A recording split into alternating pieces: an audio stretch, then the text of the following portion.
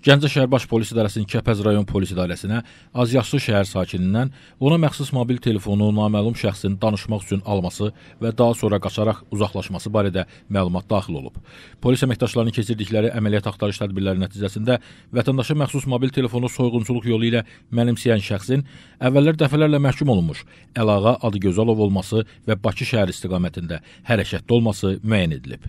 O saxlanılaraq Kəpəz rayon polis idarəsinə gətirilib və onun üzərinə qanunvericiliklə müəyyən edilmiş qaydada baxış keçirilib. Bu zaman onun üzərindən bir bükümdə çəkisi 1,42 qram olan narkotik vasitə rayon aşırı edilərək götürülüb. Dindirilmə zamanı saxlanılan şəxs illərdir narkotik istifadəçisi olduğunu etiraf edib.